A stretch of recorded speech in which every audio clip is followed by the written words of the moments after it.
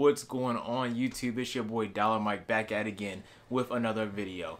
Dogecoin is looking to be unstoppable at this point. We'll see what happens, but this is a quick update video regarding Dogecoin, regarding my position, what I think you guys should do as far as Dogecoin goes, where I think Dogecoin could be in the future, all the stuff that's actually going on with Dogecoin right now and possibly tomorrow with Dogecoin Day. Quick video, but we'll jump right into it. I'm not gonna waste any more time. Let's go.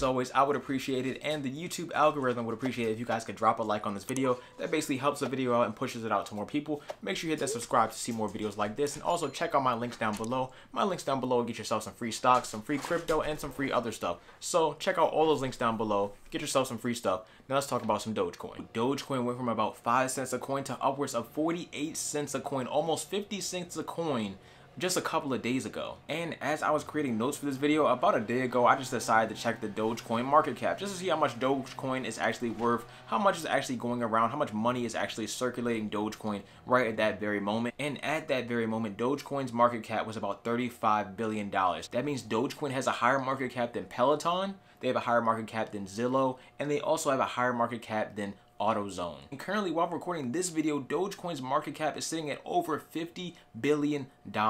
So what is going on?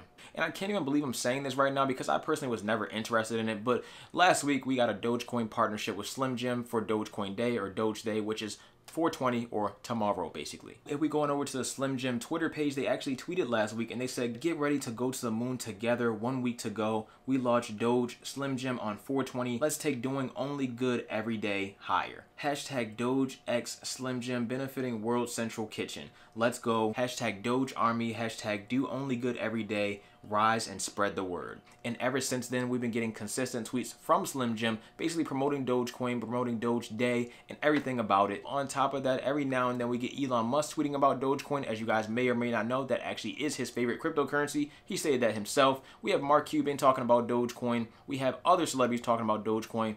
And I mean, if this many people are going to talk about Dogecoin and make it this much of a deal, then obviously the stock price or the coin price of Dogecoin would go up. Dogecoin can already be a form of payment in some instances. And honestly, with all this stuff going on now, I don't see any reason why other companies might not hop on the bandwagon and try to make Dogecoin a form of payment for whatever they might use it for. Now, if you also don't know, Dogecoin was actually created as a joke. It was a joke cryptocurrency. It wasn't really meant to be taken seriously, and the original creators have stated that on multiple occasions. But yet, here we are. Dogecoin is worth a little bit over 40 cents right now as I'm making this video, and I wouldn't be making this video if Dogecoin wasn't relevant at all anyway. So, kind of crazy how that works out, and it's also kind of crazy how that's actually taking over the internet, but I have no problem with it because I'm in on my Doge. I have my Doge, and I'm just suggesting that you could grab some too if you want to. I highly recommend that you go ahead and grab a little bit, maybe $10, $20 worth, something that won't really hurt the bank, anything like that. That's all I'm really saying. Obviously, don't put your life savings into Dogecoin.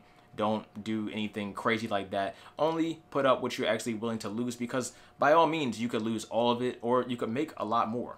I know most people that actually have their Dogecoin stored in Robinhood, which is probably one of the worst platforms to have it stored in. That's why I actually have mine stored in as well. But it's only the worst platform to have your Dogecoin stored is because you actually don't own any of your cryptocurrency that you buy on Robinhood. If you don't know, you know now. But basically, Robinhood is not a crypto wallet. They don't offer a crypto wallet. Therefore, you cannot take your Doge and transfer it to another crypto wallet without actually going ahead and selling all of your Dogecoin or any other cryptocurrency you might have on Robinhood. Either way, you can buy Dogecoin on Robinhood if you want to. I personally don't recommend it if you have the option to. You can also buy it on crypto.com, you can buy it on Binance, you can buy it on Kraken. That's personally up to you, but you can go ahead and buy it on all those different platforms. As I mentioned, I have mine on Robinhood because that's why I originally bought it, but if I knew back then what I know now about crypto and everything, I definitely would have gotten it on Robinhood. And Robinhood might be in some trouble, especially if Dogecoin does indeed take off.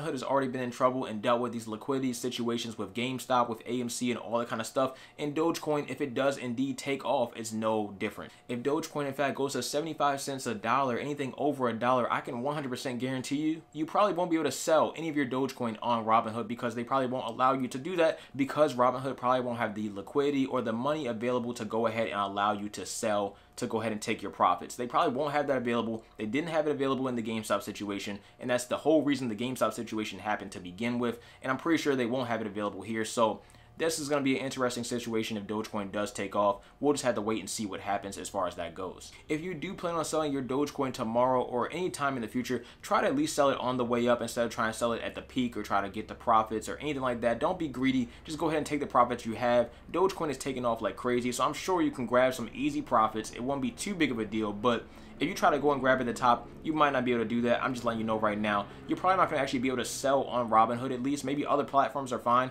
but on Robinhood, most likely, you won't be able to sell unless the price is pretty stable. So I'm saying that right now. We've seen it before, and we're probably going to see it again. So just be careful when trading on Robinhood when it comes to Dogecoin. But it is what it is. You got to do what you got to do. I'm just letting you know. I'm giving you the facts. That's all I can really do with that. And that's kind of that as far as this whole video goes. So at the end of the day, where would Dogecoin go? And I'm hoping it actually does go to the moon. I'm hoping we do take off. I'm hoping it goes to a dollar, $5, $10, $20 who really knows? Either way, I would make money, you would make money, and it'd be a good day for just about everyone, except for the people that just decide to sell late or decide to be greedy or whatever. But regardless, we should all make some money. We can all make some money in this, but don't risk everything trying to make a little bit of money or a lot of money in this. Like I said before, this can all go back down to zero at any given time. So only put up what you're willing to lose. That's simple. That's usually how you should go with all investments, but Doge specifically, yeah, for sure. This could go back down to zero in an instant. I, just like that. It probably won't, but you know, I'm just saying, I'm just trying to help you out. I'm trying to help you out. That's all I really got for this video, though. This should be a quick video, but I feel like I've been talking for a while, so it's probably not a quick video. But I have another video coming soon, probably in like a day, day and a half. So check out my full channel where I actually cover my full portfolio, my whole Robinhood portfolio. It's now sitting at over $27,000. I have over $3,000 in gains right now from Dogecoin. It's good stuff. So check all that content out. It's all linked down below. It's all across my entire channel. And yeah, that's kind of it. Thank you for watching. As always, I'm out. Dollar Mike. Peace.